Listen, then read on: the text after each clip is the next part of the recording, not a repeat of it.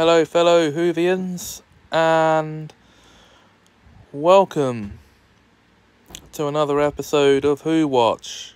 Finally, after all this time, the show where I review all the episodes of modern Doctor Who in turn.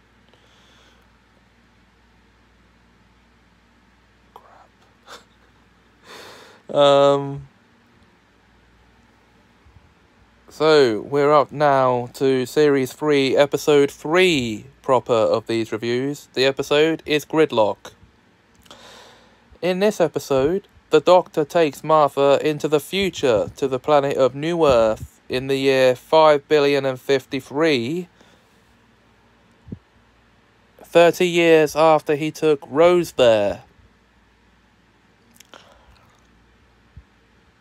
And they find themselves gridlocked in a space traffic jam. yeah, there you go.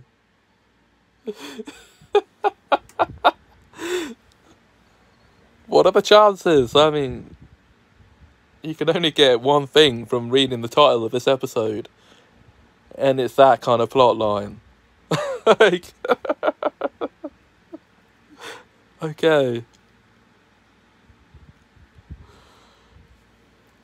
And it is not one of the best stories of David Tennant's era. Not a lot goes on in this episode from my recollection, and it's been a while since I've last watched it, to be fair.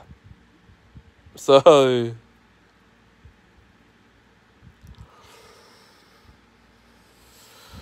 But it's still worth a watch, even if only once, so go and give it a watch.